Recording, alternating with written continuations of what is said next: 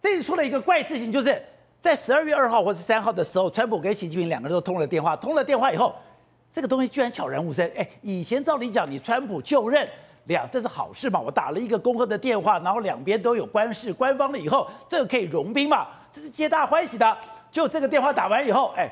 两边悄然无声，两边什么讯息都没有流出来，一直等到十二，川普十二月六号接受媒体访问的时候才说：“哎，我跟习近平通了电话。”那通完电话了以后，哎，你到底讲什么？川普也没讲，习近平没有讲是吧？那习近平今天就讲了一个哦，他警告哦，他说如果美国要打贸易战，没有赢家，代表那个画面、那个电话不欢而散，而且那个电话。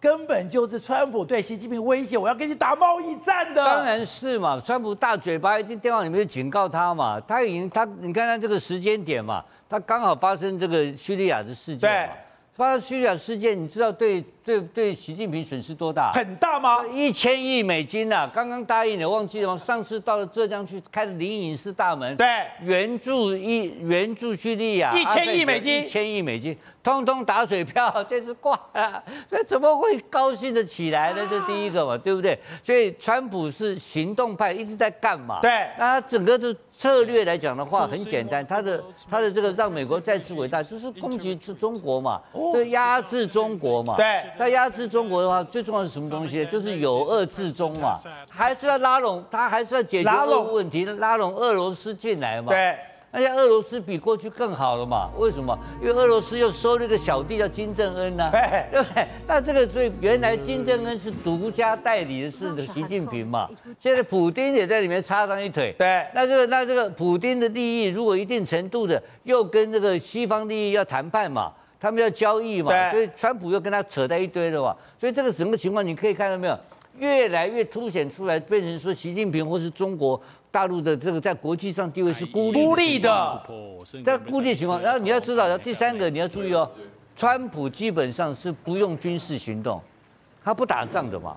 人家问他说台湾问题，他台湾问题我很简单，我关税一百八罚他，他就关税来修理中国。对所以基本上他就是用关税、用经济的冷战的方式对来处理面对他的最重要的竞争者，那就是中国大陆。对，所以他今天这个结果，他当然习近平不高兴啊，他说没有打贸易战没有赢家，怎么会没有赢家呢？他当然只有一个赢家，所以川普认为他是赢家。对，川普所有的策略里面，他现在把俄国如果也在俄乌战争在他上任之前就解决掉的话，那这个那那那俄罗斯跟他之间那以后的所谓的这个石油的交易的交易的交易的这个交易货币是什么？美金就美金了嘛，他确定他的美军的美金的强大，对，他为了美金的事情不是警告好多国家，对，你们不准用其他货币，或者干你，对不对？你敢用美金以外的货币？最大一咖是谁？就俄罗斯啊，俄罗斯也用美金，所以他整个有俄制中的策略是一步步在收缩嘛。当俄罗斯不打仗了，对，大家搞经济了，他他就搞，他就开始要搞这个搞，他就开始搞关税了。可是俄乌能收拾吗？俄乌不是一推一单一个烂摊子吗？他他跑到法国不是去讲了吗？对，这叙利亚为什么会败的啊？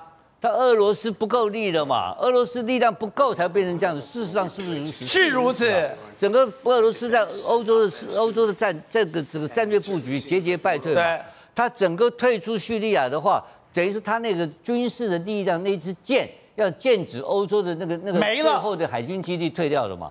那剩下什么东西呢？剩下俄乌战场，俄乌战场目前的最新的谈判的这个这个泽连斯基，泽连斯基同意让土地让给他的哦，对，但条件就是说他的用词很精准，就是说我们现在剩下的四个州不要用军事解决，用外交解决。那我都看不懂外交什么叫做外交？外交是扯，大家扯皮了嘛？外交外交是外交是打屁嘛？外交是什么？外交外交有什么用？外交能够把一块土地抢回来吗？不能，当然不能。可是后面一个更狠的东西嘛，就是剩下乌克兰的土的你的国家由北欧北欧来由由北约保护嘛？北约保护就是川普保护啊。那跟川普好高兴，跟他站在一起，这小子已经拿人家好处了嘛，所以他才穿一个蓝色西装，打了一个金黄色的领带。这个情况其实就是要给，就要谈出个条件，让普京能够下台嘛。所以你说，川普跟泽伦斯基已经谈好了，但川普跟泽泽伦斯基没有角色了。全部是川普了，川普是总代理的嘛，总代理他是老大，他做主嘛，对不对？那他答应普京的条件，一定是让普京能够满意的条件，普京能够解套。面子上能够守到，能够顾到面子，然后在国内的这个所所谓他的总统地位能够保持，那普京会同意啊？怎么不会同意呢？因为他他要的就是这四块地给你啊，给如果顿巴斯的这些土地，我要我我川我我现在来跟你交朋友，然后到到在乌克兰帮忙，你怎么办嘛？对不对？所以这个条件他很难拒绝了。我认为有密切在谈判中了，但这个谈判情况之下，就是一个苦主是谁？就习近平嘛。因为习近平就是他就一直孤立，一直孤立嘛。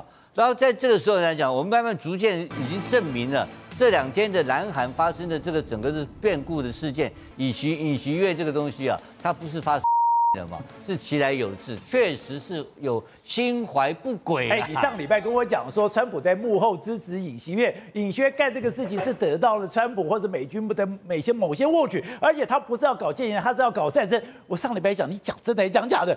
我这个礼拜看看是真的了。你看他今天更更离谱，那李在明已经讲了，李在明要一个礼拜弹劾这个尹锡悦一次啊，对啊然后一个礼拜一次的目的是什么？因为发现一个大问题啊，李在明在跟他拼啊，因为他用司法在搞李在明啊。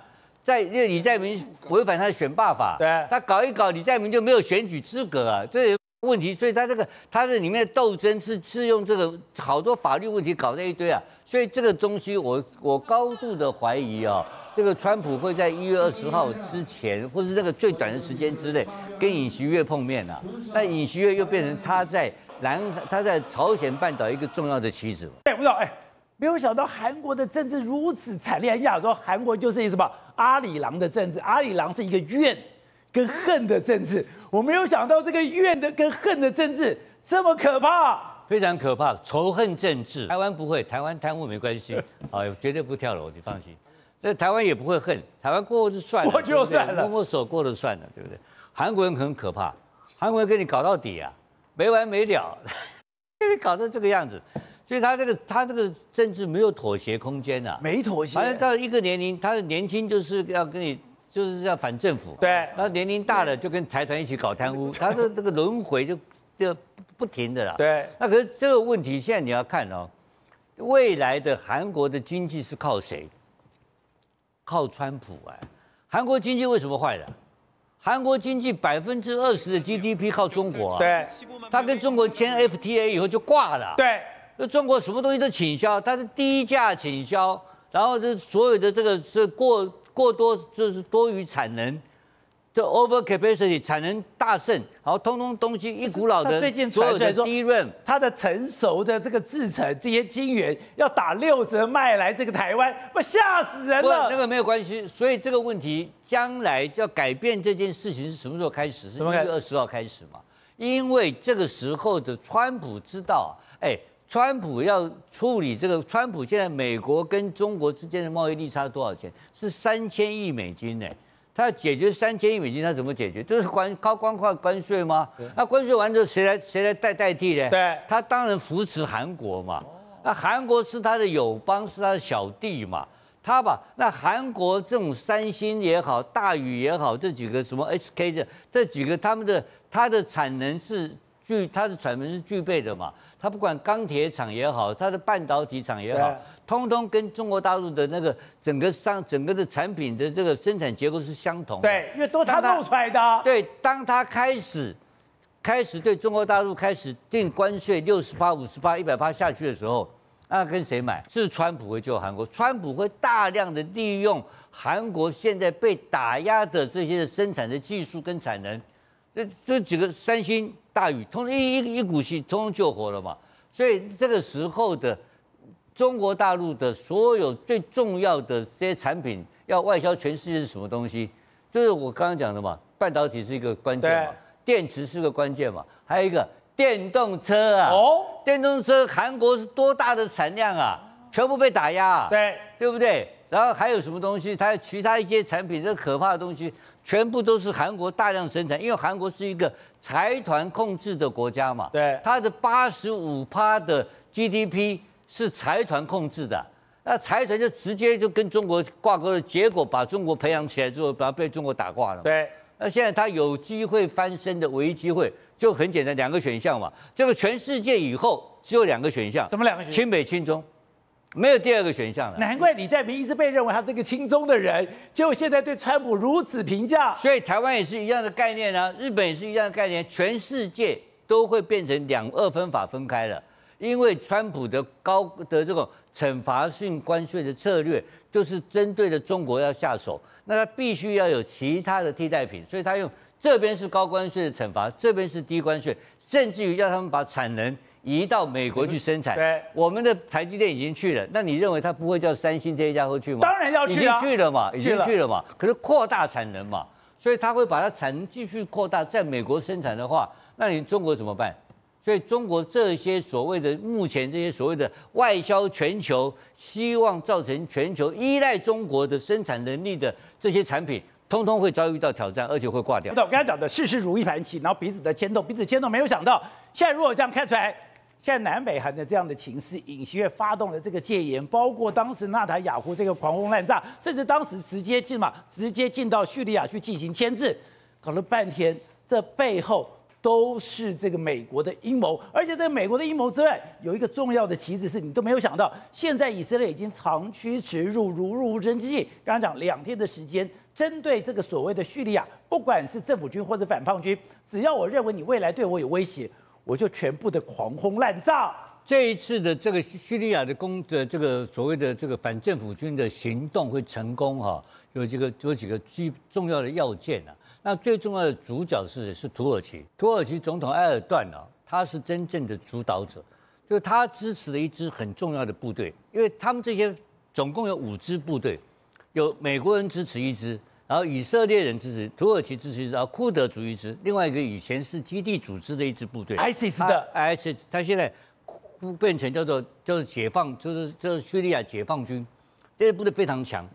所以，在这个开始这行动之前呢，他得到埃尔段的同意，埃尔段提供所有的军火给他那支部队，然后呢，各自有老板供应供应军火，对不对？然后更厉害是什么？你要知道，第二点，叙利亚的主要主要的兵力的，除了地面部队以外，他的空军非常强，因为阿塞德的爸爸以前是战斗机的飞行员哦。所以他本身就非常重视这个战斗机，他就是这些，就是空军的空军，空军的战斗机，空军的情报收集系统，所以他的空军的那些整个整个堡垒做得非常的好。但在这一次，为什么空军没有没有发挥？为什么？因为第一个很简单，所有地面部队的空中的掩护啊，全部是由美军跟以色列负责，美军直接干了嘛。所以这十二天的变天，不是只有反叛军。是美国跟以色列的掩护。现在大家不用反叛军了，现在反政府军了。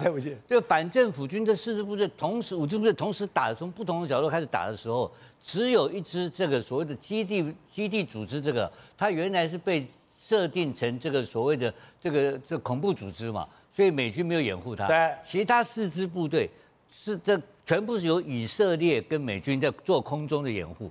那怎么这怎么打？完全空中掩护，所以你刚刚提到说以色列有总共出了两百五十次的这种轰炸。对。那问题是，那这个那这个最后叙利亚的飞机去哪里了？对啊，叙利亚飞机呢？飞了。他不是空军最强吗？也飞出去了，不知道去哪里了。啊。你知道吧？绕跑了。绕跑了嘛？绕跑了。现在空军绕跑，所以空军一绕跑，地面部队怎么打？对，没得打了。就没得打，就完全弃守，一路弃守，通通就溃散掉了嘛。溃散掉开始就投降，所以很快。所以美军是一开始就介入的，一开始就介入，是美军提供了所有的空所有的空中掩护嘛，然后做了地面的攻击嘛。所以你看，地面轰轰炸那么惨烈，对，他这个反抗这些所谓反抗军或反政府军哪有这个力量？你的反空飞弹呢？你所有的物资呢？全部干掉。所以在地面上，所以他的地面的防空武力全部把你干掉。对，所以这就是典型的美军的空优发挥的优势，主要就是美军直接干。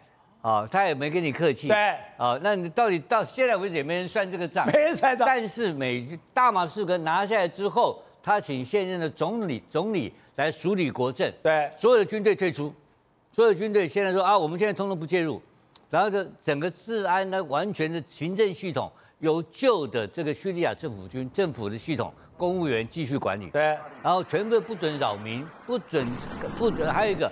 不准开枪庆祝。哦，这个很这个很重要，因为 这些家伙发疯了，会开枪，会高兴，会吓死人的，所以通通开始全全部，所以你看到很安静。对，然后最重要的是什么？美美国宣布他们不介入、不参与叙利亚政府的工作，所以就就没有人参与了。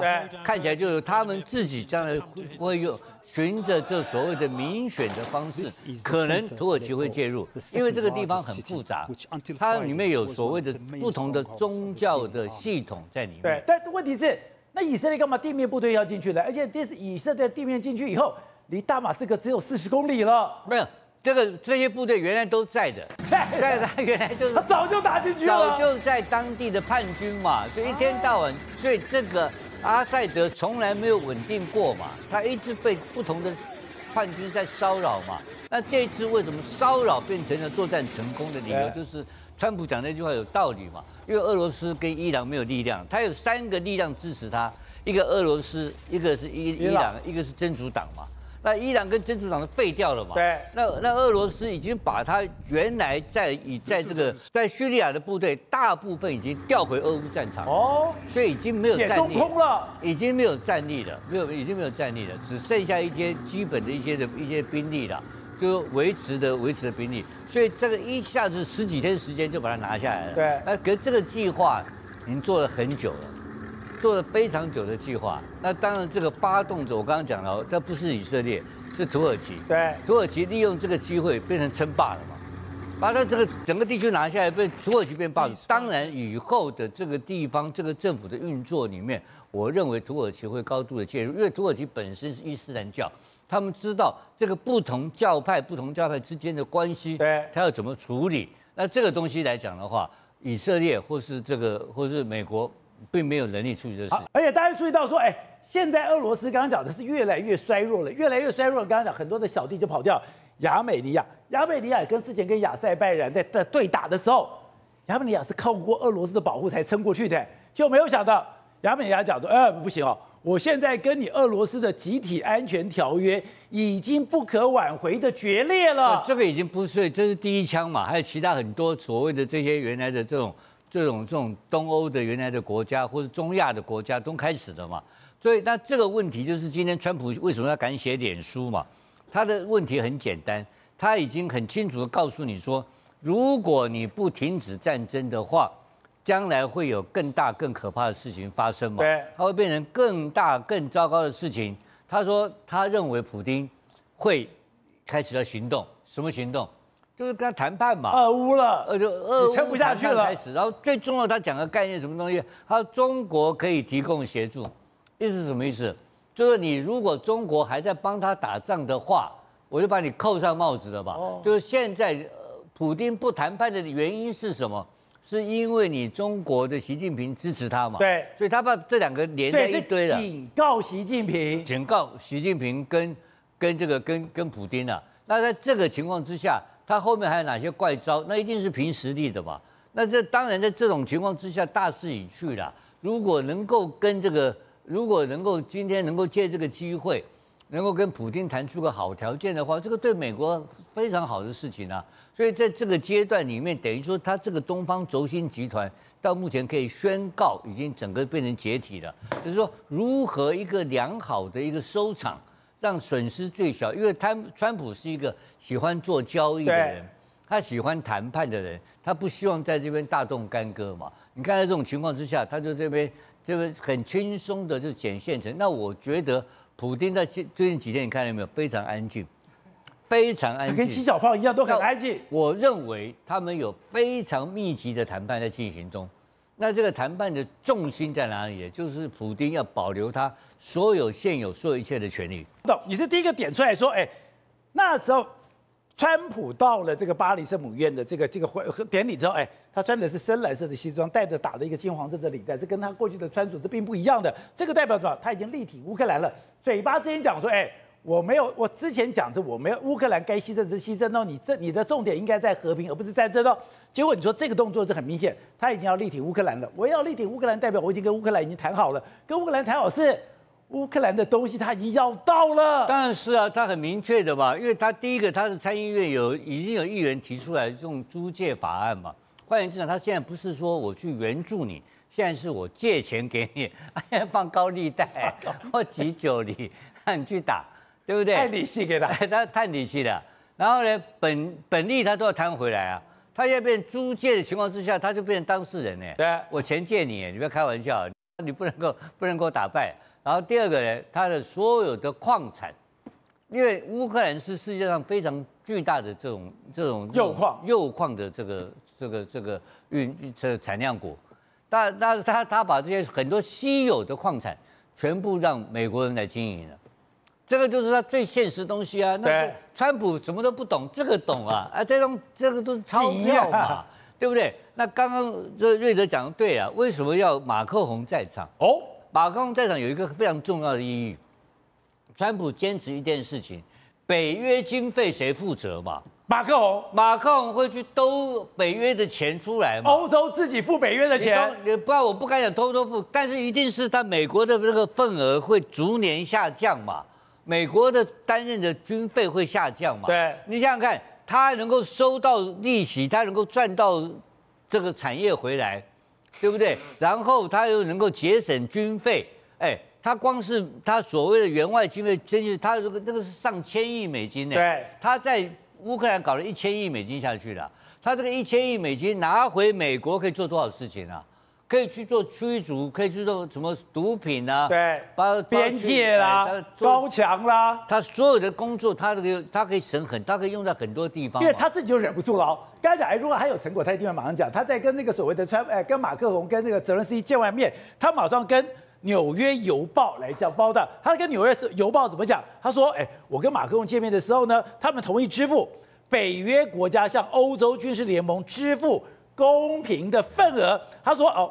川普说：“好了，你们北约只要你们愿意付账单就好，他们当然要付账单。你们如果付钱，有人付钱，我参与后，我就会参与这件事了。”，对，所以讲的简单点，所以我说要有人买单嘛。川普的胃口啊，非常简单。他很简，因为它国家是一个亏损的国家嘛，它亏它国家当然有通货膨胀的问题，有一大堆财政的困难嘛。那现在的北约不要付，哎，乌克兰战场不要付钱，北约的日常性的保持军费军力的费用有人帮他买单，对，他本他出兵有什么关系啊？而且还有更大，你知道吗？所有的欧洲，所有的欧洲国家，每一个国家的国防预算通通提高。那提高要干什么？买武器，买武器跟谁买？跟美国买，跟美国买嘛。所以马克宏为什么最高兴？因为马克宏他的法国是自主，也可以卖武器，自主的军武器攻击系统。如果有开始大家提供买武器的话，法国会变成一个很强大的一个国家，主要的供应主主要的武器供应国。韩国也是主要武器供应国啊。那德国就输了一大段，可是德国有钱，德国就要出钱嘛。所以德国的问题也是个非常严重的问题啊。那在那马克龙敢在承诺这个事情，你看看北约是不是都答应他？答应了，没办法，不然的话我就撤军啊，对不对？我就我我给你丢包，也不跟你出什么怪招。所以你这个就是川普在北约已经得到胜利了嘛？那北约得到胜利之后，那普京就没有悬念了。为什么没有悬念？有人买单。我跟你讲，他可以跟你干十年，长期化不怕你嘛。然后你看的这个情况，就是欧盟。变成一个新生的力量。欧盟原来不强嘛，在军事上一直不强。现在从今天开始，从二零二四年开始，未来十年之内，欧盟会变成一个全世界非常强大的一个一个这个整个集合体。而这个集合体有大小国家的联盟，它的军火、它的产能、它的各种生产能力都会变成世界第一哦。所以欧盟会被川普逼到走出另外一条他们新的一条路。而欧盟是全世界，欧洲啦，应该这样讲，是全世界的诺贝尔奖，还有思想的发动机，重人类重大的发明的原始的第一步，都是大部分在欧洲，都是从欧洲开始的。欧洲文明史主导人类的历史的进步。不知道 这个今天的座位的安排，真的在中国里面或者中共里面是有学问的吗？每个东西不能乱做吗？还有。如果你今天从最后的照片，这个是跟中共信息，哎，中国这个是国的解放军信息部，现在一个非常重要的部队拍了这个大合照，可是看起来习近平是真的不高兴。以这种军委会的主席的身份啊，带着一干这种百这种百官啊，对这种高级将领去去到这边去就去等于他等于去演讲啊。他做的好像有三点才是了，那都是套话，我看也没什么内容。结果搞了一个这个图出来，就全部中国华人，大家各界华人真的中国华人，不，当然了，因为这个是你现在看的新闻联播是央视画面嘛，那你起先看到那个是在新华社画面嘛，对，新华社画面看不出来嘛，比较不出来，不没有什么特点嘛。但你看到这个画面就觉得很奇怪啊，因为那个是正面呢、对，你因为你那个他那个时候听党指挥的这个打是什么作风优良，有台子的那个是习近平讲给他的解放军的指示嘛。那你这个东西就是放到后面，正常就在这个这个台子上面放一个高台，然后前面前排就是这些所谓的上课、演讲、学习台，每一个人坐个桌椅，在那边听听那个听领导指挥嘛，听领导指示嘛。结果把它把它变成摆成这个样子啊，这个样子变成平起平坐啊。啊，那么这个很奇怪的一个做法嘛，真的奇怪当然很奇怪。这个这个他跟一般将领，这里面可能还有很多不不是将官，可能是校官呢。哦，那怎么跟他们平起平坐？这第一个。然后第二个还有一个，你要看新华社的稿，在人民人民日报的稿，我忘了哪一个，反正文字稿里面哈、以前像这种东西出现，都会说习近平说什么什么什么。现在这个稿里面这些不见了。没有习近平说，没有了，没有了。所以最近军方所出现的习近平的领导的指示的才是，过去是东一个习近平，西一个习近平，然后南一个习近平，北一个习近平，现在都没有了，所以中央不见了。所以在这个不见绝非偶然啊，对，对不对？那一定是有一个系统的运作啊。那中指部它是怎么样子运作方式完成这个结果，我们不懂嘛。但结果看起来就是从这个画面加上我刚刚讲到的文字稿的对照比，没有习近平说，哎，这个东西就不是很正常。我又回到我前两天在上个礼拜讲的一个东西，就是苗华的接班人是谁？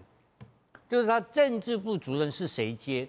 如果政治部主任不是他的亲信接的话，那就确定他在军委会的控领导的控制能力衰退。